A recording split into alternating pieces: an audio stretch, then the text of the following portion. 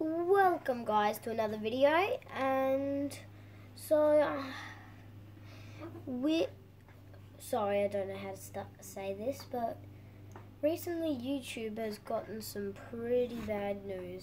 MatPat is quitting and I god my phone's going flat. But eh, MatPat was a really big inspiration for this channel I didn't make videos like him, but he inspired me to make videos, along with a couple other creators. So if you want me to react to that, I will. But today we're doing this. Hey, really quick, new merch just dropped and everything is on Black Friday sale of up to 50% off from now to the 27th. We got a dope jacket, blanket, pajama pants, stickers, shoe charms, a hat, and of course the plushies. Click the link below to check it out. Hey, Bryson, lay down on the ground. Why? Just do it. Okay.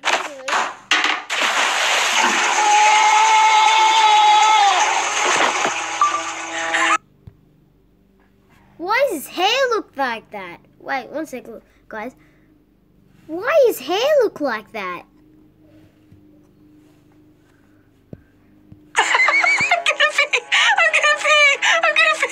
Hi, I'm Bryson, and I've made several videos about my siblings, but there's one that I've yet to tell you about. The oldest sibling, my only sister, Brittany. By the way, that intro skit was a true story. She actually did that to me. But to be honest, looking at the whole picture, Brittany was the sibling that was nicest to me growing up. I mean, she's 10 years older than me, so it kind of makes sense. Why would a 15 year old have beef with a 5 year old?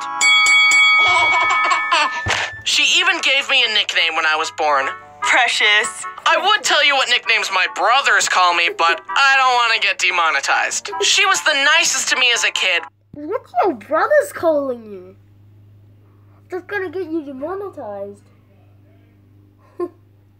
Oh, just don't think about it. But that's probably just because the bar was set so low by Brody and Brayden. She was the only one who wasn't massively disappointed when I was born. Seriously, my brothers wanted another sister, and my parents wanted it to be a surprise. When Brody and Brayden came in to meet me and learned I was a boy, they were crushed. You think I'm joking, but I have proof. Look. Oh my goodness. Come here. What do we Brayden, Brody.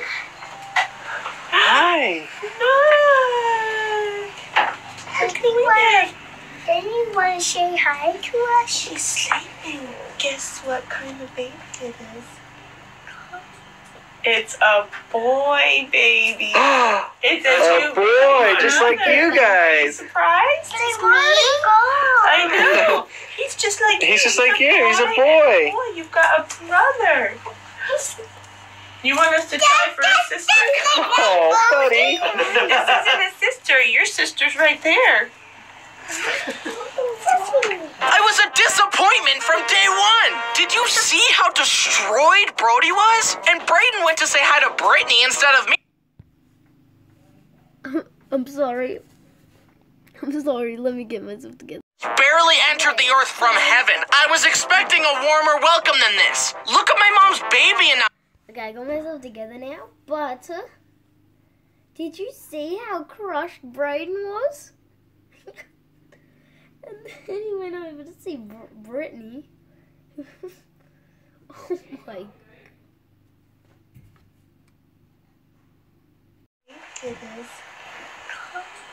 It's a boy baby. I am in a different setting from where I was before, but we're still gonna finish this video, and then I think we're about to send.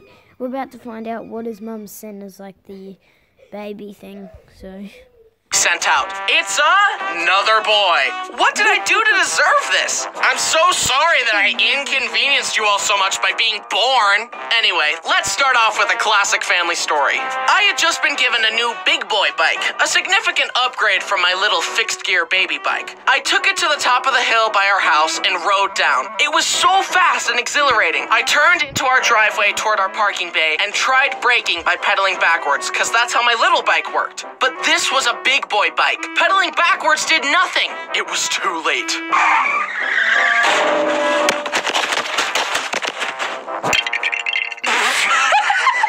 I'm gonna pee! I'm gonna pee! Brittany's first reaction to other other people getting hurt is to laugh hysterically and try not to pee. I think it's because she's been desensitized to pain from watching all those true crime documentaries. Her arms were cut off. Her legs were cut off. Her ears were cut off. Her tongue was cut off.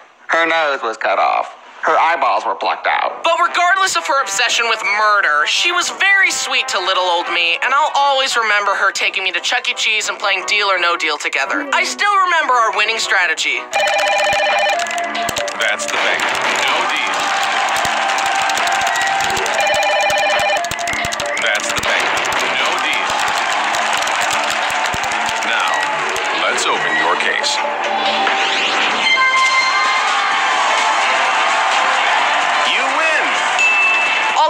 Wasn't always so nice to me. One time when I was very young, we were moving into a new house, and little me wanted to wear a paint lid as a hat. When the paint lid would fall, I would cry. Brittany kept coming back to put it back on my head to comfort me, but it kept falling off and I kept crying. So obviously, she glued the paint lid to my head. Mom had to shave my head in order to get the lid off.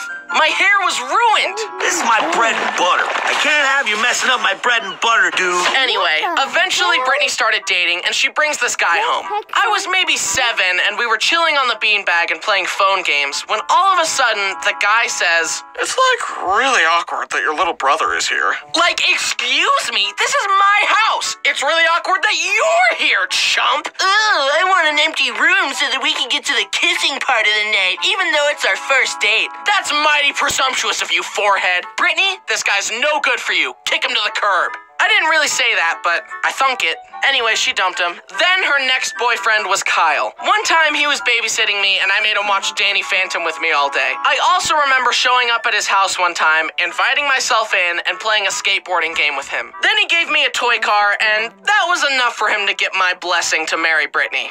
Anyway, they're married now, just like all my other older siblings. Flash forward. I was in high school and Brittany and Kyle were living in mom's basement. One night we heard Brittany and Kyle yelling downstairs and I got a half hour lecture from my parents about how hard marriage is. I mentioned it to them the following day and they said, Oh, we were just watching a hockey game and we were excited. And I was like, Well, then I got a big lecture about nothing. During this time, Brittany had to stop by a car shop with me in the car. She asked if I could run in and I am not reacting to this much, but what? I don't even think. Of, should I even react to what she was that crime documentary she was watching? Like, mm, what the? What the hell was she? What the heck was she watching? Sorry, you can't hear me over the video that well.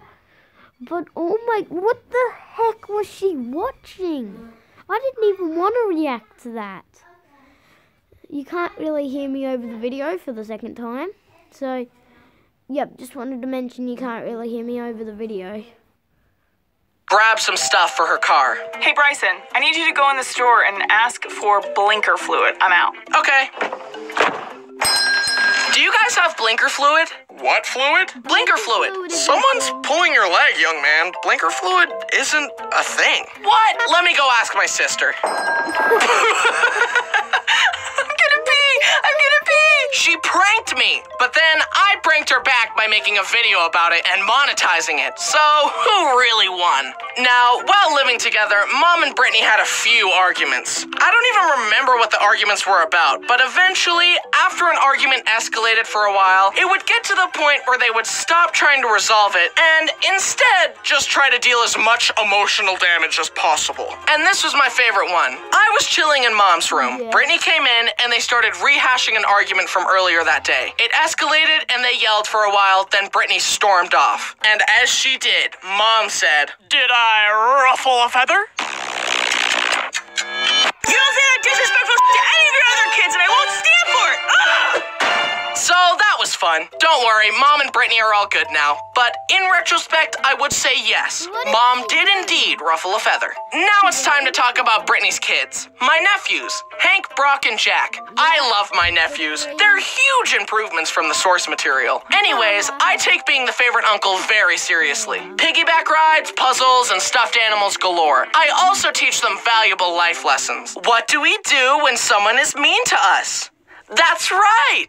Violence! Can you say violence? Violence! Good. Be resourceful about it too. Throw rocks, bite people, push them down the stairs, all that good stuff. Okay. But for real, I do try to influence them positively in whatever way I can. Bad. Bad. Good. Good. Uncle Bryson, are we getting paid for this? no. I'm a voice actor, and voice actors get paid. No, no money for you. You know what? I'm calling my agent. Yeah, right. Like you have an agent. Dad! What's wrong, buddy? He's not paying me. That's that's that's a lie. He, he, he's he's lying. He won't pay me! Here's a funny story for each of the boys. One time I t- So I'm gonna want to end that video now. I'll make a part two to this, and then react to some other animators if you want to. But I have to finish that video before I do that. See yous in the next video. Peace.